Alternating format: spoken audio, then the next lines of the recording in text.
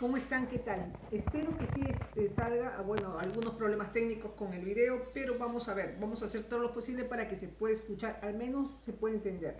Vamos con los amigos de Aries. Es un día fenomenal en la vida de Aries, un día viernes, día de Venus, donde va a celebrar, va a haber un gran cambio y como juego viene algún tipo de propuesta muy importante, justo el último día de la semana prepárate. También en el lado sentimental veo claramente, mire el amor.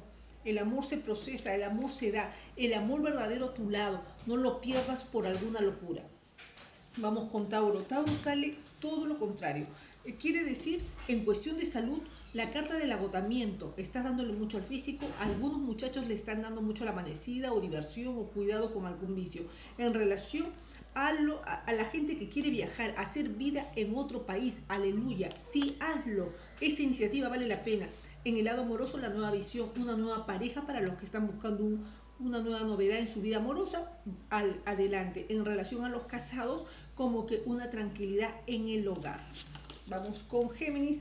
Géminis sale viajando. Géminis sale con suerte, Géminis sale con nuevas aventuras, los colores que predominan aquí es el rosado, el violeta y el verde limón.